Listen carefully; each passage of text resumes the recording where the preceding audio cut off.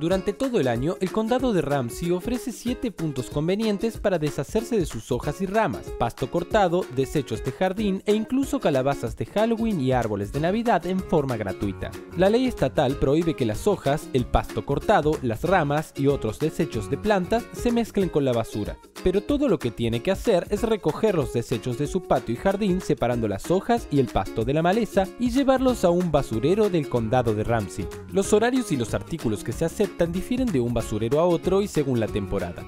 Cuando llegue al basurero, simplemente siga las señales para ubicar dónde debe dejar los desechos de su jardín. Los encargados del basurero siempre están disponibles para responder cualquier pregunta que pueda hacer.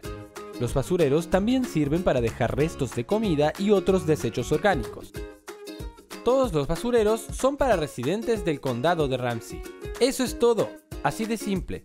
Para más información, visite ramseyrecycles.com barra yardwaste o llame a nuestra línea directa disponible 24/7 651-633 Easy. Easy en números es 3279. Contestamos llamadas 24/7.